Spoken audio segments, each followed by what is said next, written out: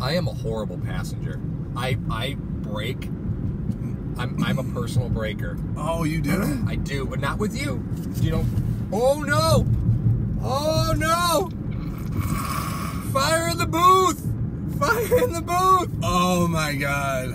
Well, I can cancel my vasectomy appointment.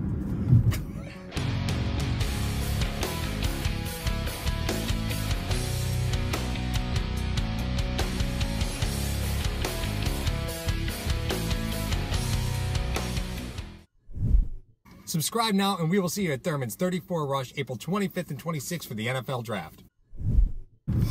All right. No. But continue. I want to talk about draft sleepers. This is always the. Wait, I love the what is draft it? sleepers episode. Oh, this is the part of the year. where we talk about guys that like. The most obscure guy. Oh yeah, yeah. Did you guys ever see the movie? Uh, what was it? I'm trying to think of the name of it. Uh, obviously, everyone's seen it. I don't know why I asked. Uh, Billy Madison.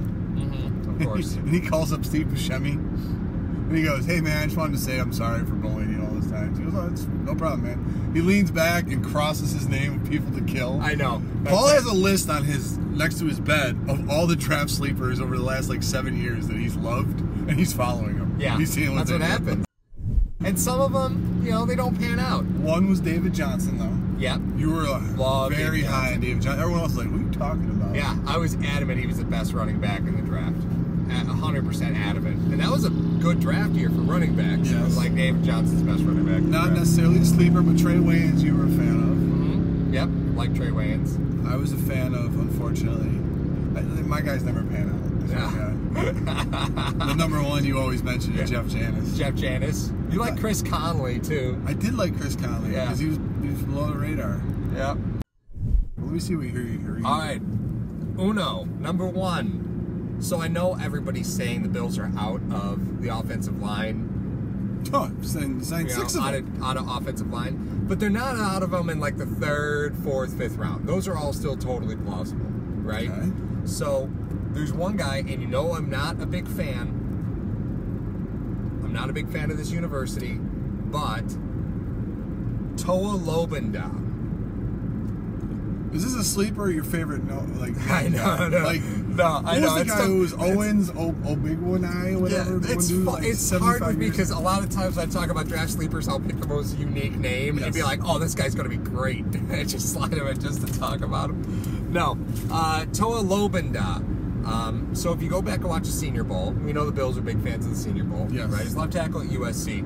There was actually a few plays where he was going up against, you know, some top pass rushers. That's why the Senior Bowl I think is so important Yes. because you can you know you can look at guys you can watch film and then the conversation comes up well who did he play in the senior bowl you you can level that argument Yeah, right Yeah, can get the you can get a good read on the guys on how they go against positional players, mostly in practice. Like in the game setting, it's one thing, Right. But then you get to see if it, if it transfers over. So if they're doing well in practice and they perform, they stink it up in the game, Right. It's a different story. But well then, that and you get know, to see these players move because sometimes Mhm. like they'll play left tackle then they'll play right tackle or center will move to guard or you know from, Yeah. a, from a line position it's a really interesting game to watch because the guys shift around all over the place usually Yes. so it's nice um, but Toa Lobendahn on a few plays was going against um, uh, who was it the name the name of the pass rusher escapes me but it's okay um, Gary Bosa. no, I, I, I just don't remember. Um, but he was going against the, one of the speed rushers, and he actually arced the whole way around the quarterback and kept going. He kept going. He made almost a semicircle. He ended up almost over at right tackle, still in front of the guy. This happened like two or three times.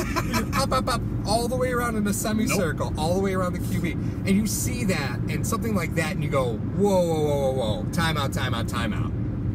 What kind of motor is this guy got? Yeah, like, I gotta go back and see this guy. And that's what prompted me to go back and start watching tape of Lobendahn. And that happened a lot.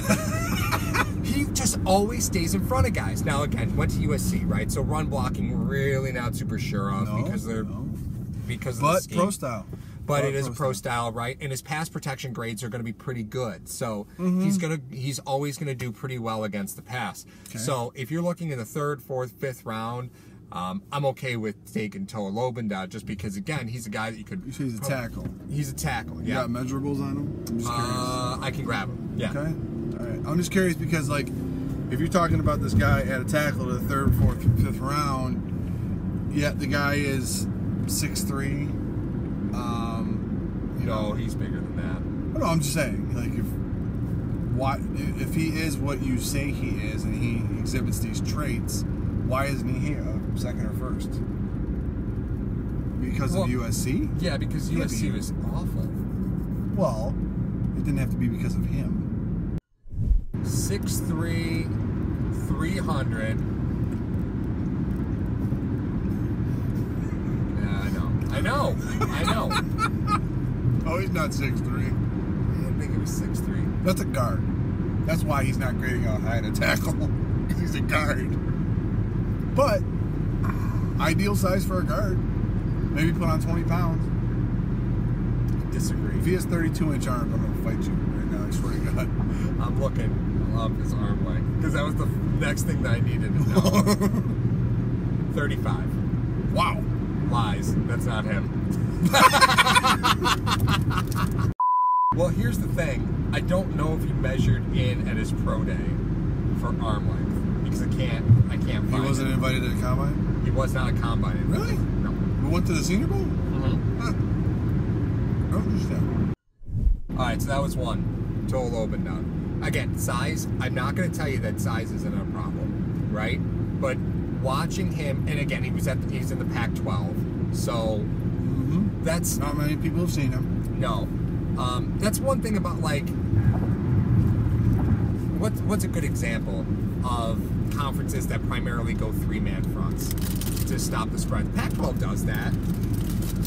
What about the Big? The Big does it too. Big Ten will do it. So the Big Ten Big 12. No, Big 12. I'm sorry. the Big 12, the Pac 12, they feature a lot of those spread offenses. Mhm. Those spread offenses. Whack. Right. And what one thing that's important to know about when you're grading out guys or looking at guys that are on the line Mm-hmm. is if you're in the Pac 12 or you're in the Big 12 or you're in the, the WAC's another great example. And with these teams, these spread offenses, you're not going four down linemen because you want that extra backer and coverage. Yes. So, like, you look at tackles, and that's why tackles at the Pac 12 don't always grade out all that well because they're going against just these monsters. And usually it's one on one with these big guys, not speed rushers. That's why for Toa Lobendahn at the Senior Bowl, he went up against a bunch of speed rushers and he's arcing them around the QB. You go, whoa, okay, this guy moves better than I thought he could. But that's why. lighter. That's, well. Right, but that's why I like him because when I go back and watch him, he's going against these huge defensive ends. He's not giving up pressure against these monsters. So that's that's why I I think it's important to just take that grain of salt when you're watching tape. You do have to take into, into consideration the conference that they play in and the type of system that they run and how that conference is trying to, you know. Yeah, but if, try to go mo- if most of the teams, I, I mean, I, I'd like to think most of the teams run pro style out there in the Pac-12. And I think how pro style defense, pro style defense to counteract that, you're going to have a guy that is a speed rusher on one side and a bookend run stop on the other side. So, was he right or left tackle? left. So wow, it's yeah, it does. It definitely wakes you up, but I don't know if his size and weight will deter teams because usually if you want a left tackle, you want a 6'5", 330, Yeah. 340 guy. Sure. Um, you know, depending on the size, I mean, he could be a solid guard. But then when you talk about a guy getting drafted in a, in a position change, that's really tough. You know, that you don't take those guys high. No. But like you said, No. third, fourth, fifth round. I think fourth or fifth probably more likely. Well, if you're looking at a position change, If if you yeah, already have him earmarked at guard, be like, listen, you, he'll be our starting guard. Mhm. Take him to third then. Take a shot. He's got to be cheaper than a lot of options that are out there. All right. Next up, everybody loves the connections. You make the connection all the time of Luke Kuechly to Matt Milano. Excuse me. You do. You make it all the time. Don't don't do that to me. What? Don't falsify information. That's exactly what you do. I They- say no, no, no. I make the reference because you want to put Milano in the middle Yep. of a Sean McDermott defense, and then I just reference that they both went to Boston College. Mm-hmm. So I'm I don't say Milano is Kuechly. Einhorn is Finkle. Finkle is Einhorn. I know there's a man. Are you ready? Uh huh. I'm not. So we're going back to Boston College because Boston College finds they they have proven to be a good college to snag late round picks from. They really have been exactly. So teams look at Boston College in the third, fourth, fifth, sixth rounds and say, okay, let's who's their best player? All right, let's see if we can snag him. Right. Zach Allen, edge rusher from Boston College, boy. has some of the best pass rush moves you're going to see on tape. Period. And this is going. This is including uh, like Sean Gary. These are. This is including Montez Sweat. This is including those guys. He's 6'5", about two eighty. Good lord. A big dude. Good lord, man. But 6'5", 280, uh, edge rusher Mhm. for Boston College. Is that ACC? Uh, eh, Boston College is. Oh, I don't know. Looks like you're gonna have to take a book off the shelf. I know. conferences now. I don't remember conferences. If we're talking ACC, we're talking Virginia Tech, we're talking Clemson, we're Mhm. talking. Um, is I in the. ACC? Point being is you're, you're you're there with some teams that have some studs. It's not like he's playing in a conference that doesn't mean anything. Right. No, Boston College. Well, that's again why Boston College is looked at as you know, hey, let's go. Yeah, they are in the ACC. Okay. Um, that's why Boston College is looked at as you know a college you can go snag picks from because the competition level's pretty good. Well, we got Milano in the fifth. Right. Right. Exactly. So Zach Allen, if you're looking for somebody who can bring you some pressure on the outside, I like him a lot. Um, couple problems. Oh, here we go. Well, his 40-yard dash time at the combine was a five. Which someone who's 6'5", 280 should run. You think so? A normal human being that is six foot five, 280. That's even kind of fast. It is, it is pedestrian. I will, I, it's a pedestrian 40. Um, Oh, but that's, but again, you start looking awful. at That's pretty awful. what? Five. Yeah, it's not good. But again, you're looking at late round picks. You're not looking at a guy who you know burned it up. Bench Oh, press was 24, but again, looking at pack. size, his arm length's like 35 something. That's that's ridiculous. Then so 24 is a that's in the number. 30s of his if he's. That's what I mean. So the numbers are a little deceiving. His arms are so long, but the bench was still 24. That's a good number for a guy with arms that long. Put him at defensive tackle. Put 20 pounds on him. Put him at D tackle. Um, his three You cone think drill I'm kidding? Oh God. seven three four, which isn't hateful.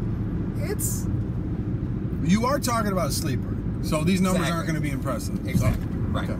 Uh, But you're talking about the moves that he has within game. So he's a guy that his numbers at the combine aren't going to reflect what he does on the field. right. Okay. Yep. All right. Game speed versus speed speed. Right. Good. Yep. So I like Zach Allen a lot. Go back and take a look at him, because uh, I know you probably haven't looked at Zach Allen at all. My question for you is for Toa and Zach, mm-hmm. the two guys that you've mentioned. Is it a is it a situation where you're just picking a guy for a depth signing because I believe they've already done that, or is that do these look like two guys that could eventually I think Zach Allen could start. Zach Allen could eventually be a starter? I think he. I think he can start. Because you yeah. have one year Yeah. to know to find that out. Mhm. Does he have one year in him Yeah. to then replace a possibly both Lawson and Hughes? I think. He, I think he's more of a, a replacement for Lawson. You know what's really funny though that I haven't mentioned before? What? And I do it when I edit it, but I forget afterwards Hmm. because it's I can only watch so much of us. I really can. We never mention Murphy. We're always talking about Lawson, Hughes, replacing those. We never mention Trent Murphy at all Yeah, I know. I remember liking that signing, and then I forgot he was on the team. because he never was he on the was never on the field. I was just like, okay, hey, why do we mention Murphy? Why don't we mention Murphy? Mm-hmm. Everyone else forgot about him too. So you're saying that Allen could definitely progress into being a starter, Allen could start in the rotation the right now. on the right, on the left side of the defense. Right. Yeah, I think he's more of a replacement for Lawson than he is for Hughes. Um, he's just not the same type of player as Hughes is. No, he doesn't have the speed, obviously. Right. With the amount of edge rushers that are coming out each year, you could definitely try to pick one up. The only problem is it's going to be a rookie. Um, so he's not acclimated to the system. So he'll probably play on par with Hughes Right. in that respect. Mm-hmm.